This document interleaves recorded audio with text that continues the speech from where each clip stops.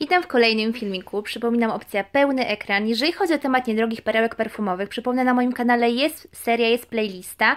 Dosyć niedawno był filmik 33 niedrogie perełki perfumowe. Były też wplecione różne niedrogie perełki perfumowe w inne filmiki dla wytrwałych, że tak powiem, którzy oglądają regularnie, skrupulatnie od A do Z. Po prostu takie informacje były wcześniej. Natomiast w filmiku z nowymi nabytkami perfumowymi, tam było w dwóch częściach, w jednej faktycznie troszeczkę już wspomniałam, pokazałam, że to jest um, zapach róż z tej serii powiedzmy kolorystycznej z Pascal Marabito Sultan. E, marka generalnie w moim odczuciu nieudana, często syntetyczna, e, drażniąca, no nieudana, taka drogeryjna nieudana, natomiast e, cenowo one tak różnie chodziły. Także raczej słaby stosunek ceny do jakości. Natomiast ta seria właśnie, jeżeli chodzi o te poznane przeze mnie, na razie dwa kolory, dlatego że Rose jeszcze nie rozpakowane.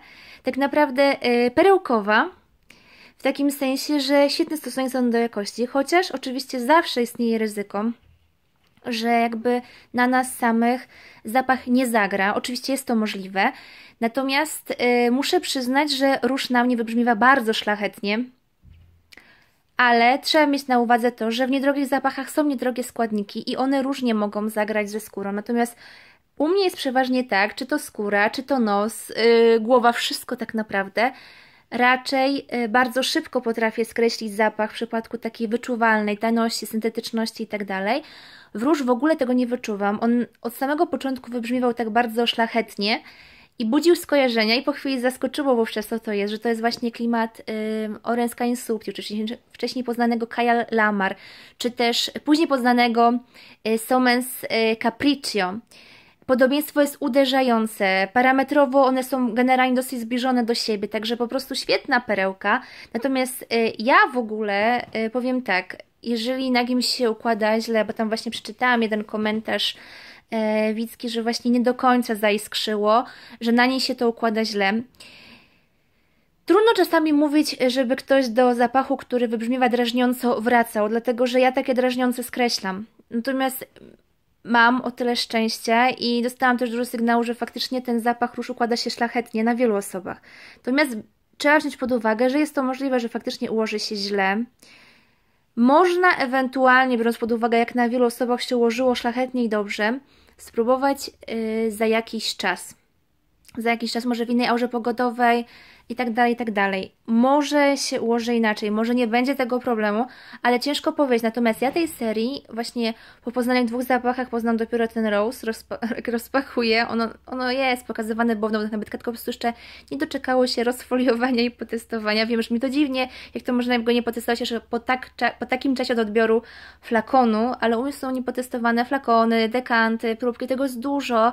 Um, cały czas coś testuję. Ja, Darek testuje, Kala testuje, wszyscy testują, ale powiem szczerze, y, w danym momencie najdzie mnie w końcu ten zapach zostanie sprawdzony.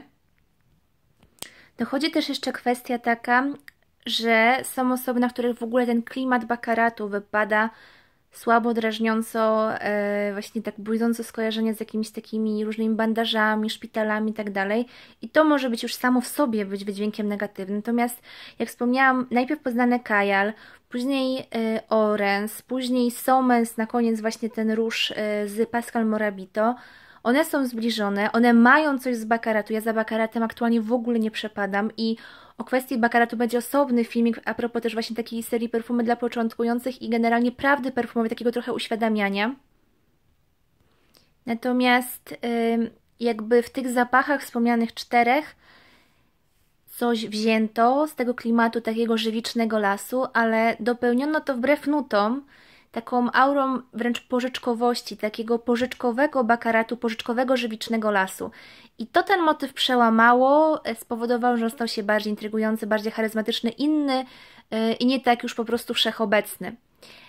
Jednocześnie taki yy, intensywnie wieczorowo kobiecy. To jest taka słodycz, gdzie za słodyczą generalnie nie przepadam, która w takim ujęciu, takim z dodatkiem takiej żywiczności słodszej, czyli takiej słodyczy żywiczności, słodyczy żywiczności owocowej, z dodatkiem owoców, tutaj pożyczkowość, tego efektu pożyczkowości, już na przykład do mnie bardzo przemawia. O Noir będzie osobny filmik, o Rose będzie osobny filmik. Zobaczymy, czy te wszystkie odbiorę szlachetnie, natomiast po prostu rozrzut między pozostałymi Pascal Morabito, które w większości były nieudane, zdarzało się, że można było je potestować na spokojnie różne e, właśnie w naturze, Natomiast jakby styczność z tą marką moja niestety raczej nie była udana.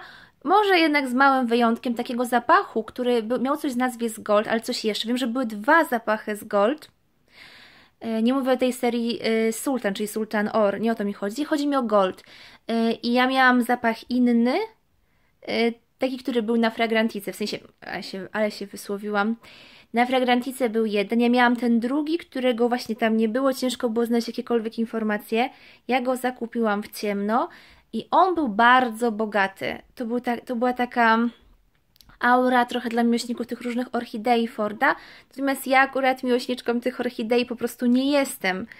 Yy, natomiast yy, zapach miał dobry stosunek ceny do jakości, nie było tego problemu, który towarzyszył większości tych morabito poznanych.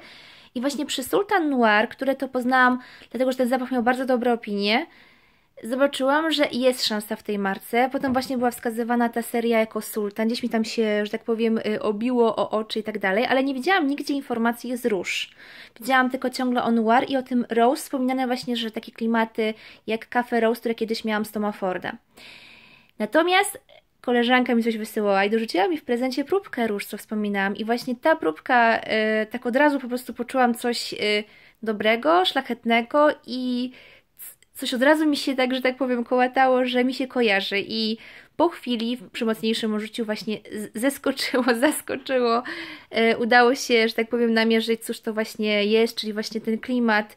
Y, wówczas y, jakby najbliżej było do używalności właśnie przeze mnie Orens Dlatego, że Orens nawet chyba mi się bardziej w pewnym momencie spodobało może niż Kajal, dlatego że miałam wrażenie, że Kajal jeszcze taką miał sobie trochę arabskość, a Orens jakby stał się takim Kajalem trochę bez tej arabskości. A dobra, żeby nie było. Kto wytrwał, to wytrwał, będzie nagroda, że tak powiem, nie żartuję. Skoro już ktoś wytrwał do tego momentu moich rozważań. W ogóle powiem tak, a propos niedrogich perełek, ja ostatnio pokazywałam Berbery Touch oraz kolejną to Aqua Colonia, w zasadzie dwie. Dwa zapachy to w zasadzie jedna wiska bardziej, ale druga też się w to włączyła, właśnie mi wspominały właśnie o owych zapachach. Ale też były wspomniane pewne inne zapachy. I to też z użyciem tych dwóch konkretnych widzek.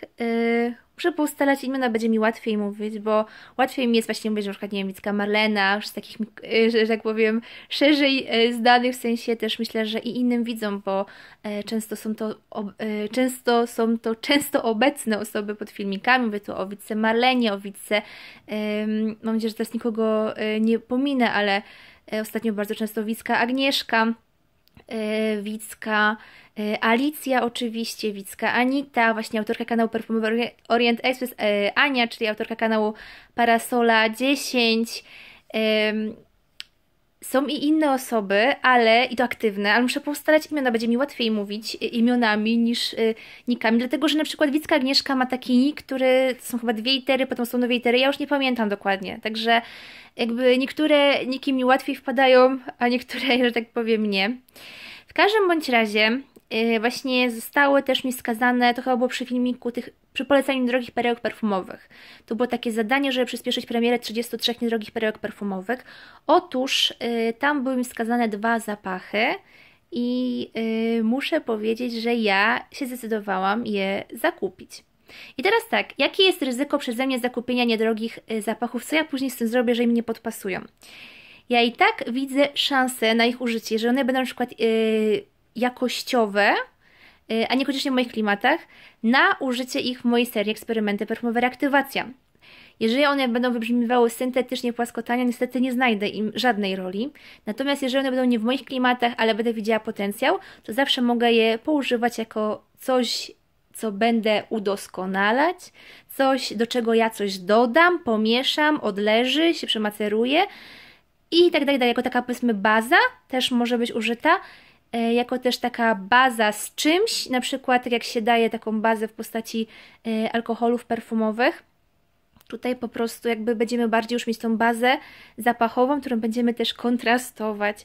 W ogóle pierwsza, e, pierwsze moje dwie zabawy po czasie, bo kiedyś już były te eksperymenty, to takie zabawy teraz, że tak powiem, dwie zabawy, że tak powiem, sobie leżą, czekają, także już niedługo ta niezwykle emocjonująca, pasjonująca seria będzie.